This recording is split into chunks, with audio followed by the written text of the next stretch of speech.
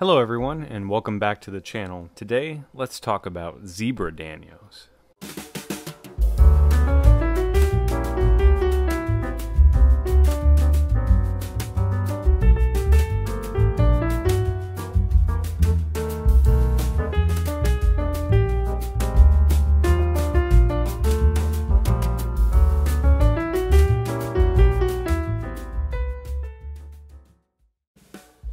Alright everyone, if you're new here or maybe you're returning for another vi uh, view of video, I would greatly appreciate it if you consider liking and subscribing and hitting that notification bell.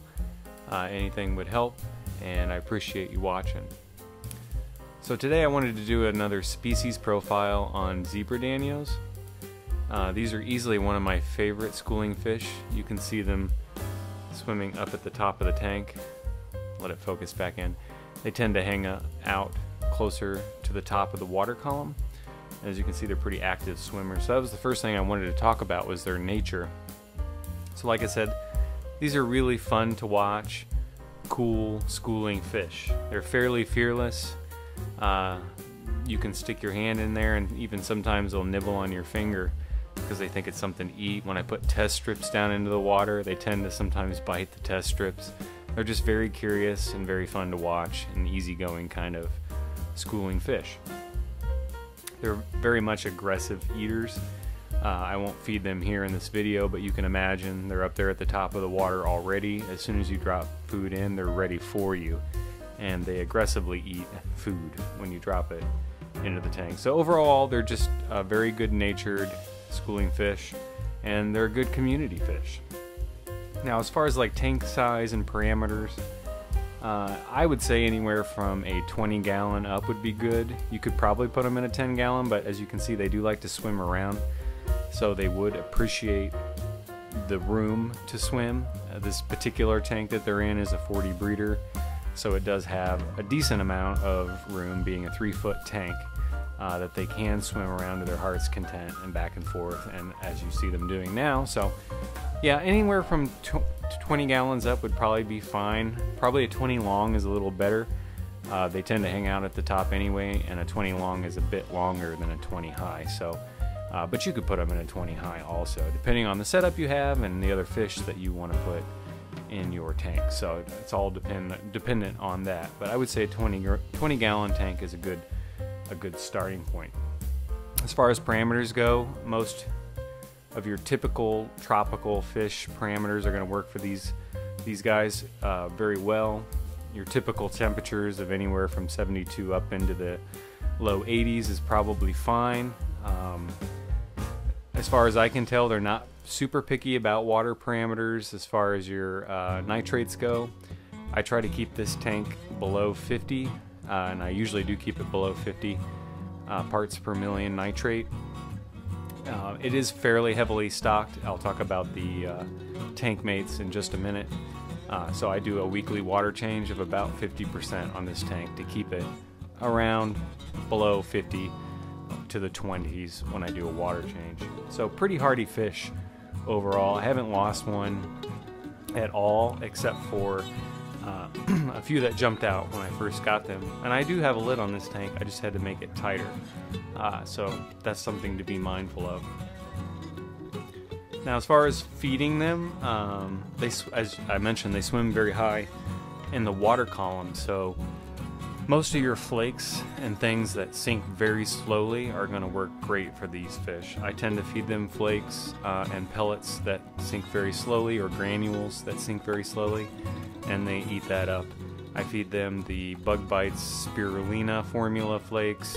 Uh, I've got a, another Bug Bite small granules that I feed them sometimes. Uh, and of course, they will go wild for any frozen or freeze dried uh, bloodworms, brine shrimp, uh, mysis shrimp, anything like that will be perfectly fine for these fish, and they will gladly eat it up uh, with zeal. and occasionally, you know, I do feed uh, Repashy to this tank, and I do occasionally notice that they will venture to the bottom of the tank to take some nibbles on Repashy. So they definitely like that as well. Now as far as tank mates, and this is what we'll talk about what I have in this particular tank. Uh, pretty much anything that's not going to eat them is going to be fine. So most of your tropical community fish are going to be fine, and some of your less aggressive and semi-aggressive cichlids that don't get too large are probably going to be fine. In this tank, I have them in with one common pleco, which is hiding under the piece of driftwood there. You can see him, he sticks out like a sore thumb. Uh, there is a bristlenose pleco in here that's usually hard to find because it's hiding, but it's a long fin super red bristlenose pleco. Uh, there are 12 peppered cories on the bottom. You can see them foraging around for food. Um, and as well as on the right side, you can see on, in between the rocks, there's a Bolivian ram uh, that's fairly large. It's an older one. And you might be able to see them in the water column. There are two German blue rams, but they're very small. I recently I recently got these rams, so they're not very big yet. Um, but there's two of those, and I think they're on this side of the tank. But they're pretty small right now. They have some growing to do. And as you can see, also schooling wise, there's about 10 or so cherry barbs, which are kind of tend to be toward the middle of the tank, whereas the zebra danios tend to be toward the middle to the very top of the tank. And all of these fish get along very well and uh, seem to do fine. So the zebra danios are a great addition to a tropical tank, tropical community tank, uh, in my opinion. Now, as far as care goes, these fish are super easy to care for, and in that sense, they're great for a beginner fish. Uh, I think, in fact, these fish might be great to get someone hooked into the hobby because they're just so easy to care for and they're so fun to watch. They're quick swimmers, and like I said, they swim toward the top of the tank. You can see them kind of getting a little aggressive with each other. That's fairly typical, but it seems more playful more than anything, in my opinion. But like I said, fun to watch, great beginner fish.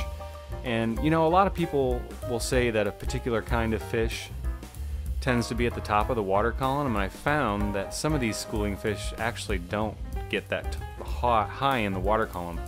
But the zebra danios uh, are definitely an exception to that. I do find that they tend to hang out in the upper more, uppermost parts of the tank, which is nice because I have schooling fish that are supposed to hang out in the uppermost parts of the tank, and they actually tend to hang out in the middle to lower section of the tank. So zebra danios definitely do hang out in the top part of the tank, and that is a great plus on their side. So the bottom line is they're a great fish, great community fish, easily one of my favorite schooling fish. So I highly recommend that anyone considering these fish, you might as well give them a try. They're, they'd be a great addition to your tank.